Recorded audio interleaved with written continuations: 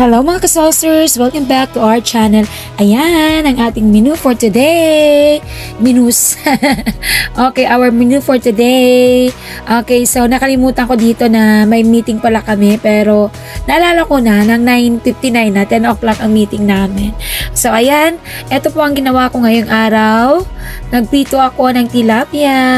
So ayan, tatlong tilapia yan mga kasolsters pero dalawa lang ang ipinakita ko dyan. Kasi nga, na nagbi-video ako dito, nagbi-video din po ako doon sa iba ko pang ginagawa. So, ayan, niluluto muna natin ang ating uh, pritong tilapia or fried tilapia. So, ayan mga kasolsters, malalaki yan sa personal mga kasolsters. So, bakit nagluto ako ngayon ng ganito.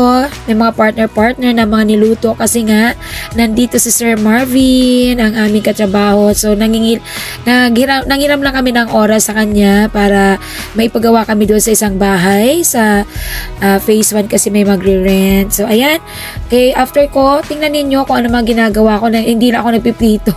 Multitasking ako dito mga kasolsters. So ayan, nagayat ako ng meat para sa pangsahog sa ating gulay uli nalulutuin partner dito sa ating uh, fried tilapia. So nakaluto na tayo ng dalawang tilapia. So isinunod ko na dyan yung isa, hindi ko na binidyohan kasi nga katulad ng sabi ko tatlo silang lahat.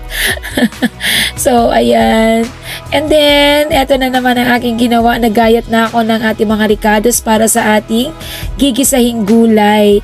So ayan, nagpabili ako ng yung pangsahog sa pansit. Okay, isang kainan na kasi yun eh. So, pwede na sa dalawa, tatlo hanggang lima. so, ayan. Ginahit na natin ang ating sibuyas, ang ating kamatis, and then ang ating bawang, of course. So, yan ang gagamitin natin sa ating paggisa.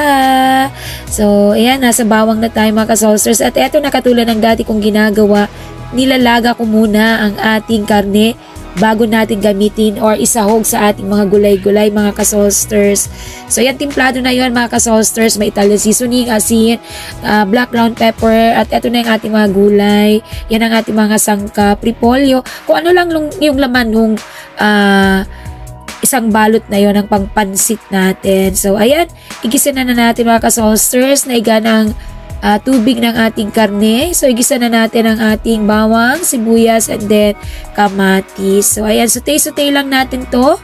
And then, pagka naluto na ang ating mga bawang, ang ating sibuyas, and then ang ating kamatis. So, syempre, ilalagay na natin ang ating gulay. So, since hindi pa luto, halo-halo lang mga kasolster, sutay-sutay lang hanggang sa maluto ito. And then, ilagay na natin ang ating matitigas na gulay, ang carrots and then ang sayote magkasama na. And then isinama ko na din ang ating nag-iisang bagyo beans. Kaloka mga kasolsters, iisa lang na bagyo beans ang laman. Okay, yung ibinigay sa akin ni Ma'am Marisa Lahom, ang aking co-teacher, at then dati namin estudyante sa Bicol pa. Ano, ang ganda ng pag ang ganda ng bentahan doon sa GMA sa San Jose.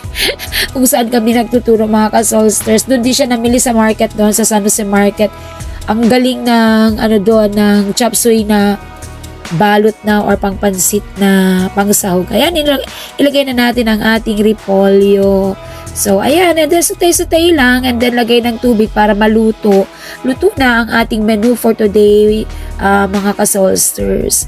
So, ayan. So, pakitapos ang panonood mga kasolsters hanggang dulo. Bye! Thank you for watching and then God bless us all. Shout out sa aking estudyante na nagpapa-shout out kay Kaboboy.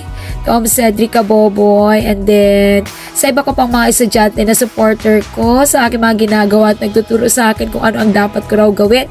Kasi nga, ayan, nawalan tayo ng ads mga ka-solsters, wala ng ads ang Solsters Farm. Okay, kasi hindi na ako nakapag-vlog. Uh, nakapag-vlog ako pero hindi na ganito na katulad nito. Pinaglalaanan ko talaga ng panahon kung ano na lang ang ma-post ko. So, yun mga ka-solsters. Thank you for watching and please support us always mga ka-solsters. So, yan. Panoorin nyo hanggang wakas. Ah, yan palang inilagay ko mga ka-solsters na yan ay yung deep sauce para sa chicken nuggets, no? Ng pure uh, pure foods, chicken nuggets. So, inilagay ko dyan.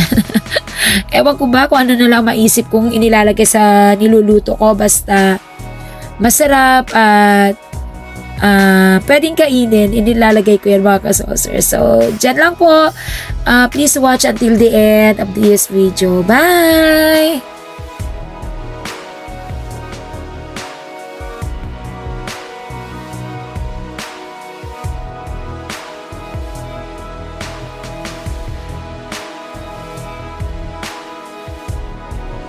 Mga kasosters, check this out. Kung ikaw ay naghanap ng additional source of income, free to enroll and meron din pong certification kapag natapos mo ang iyong program.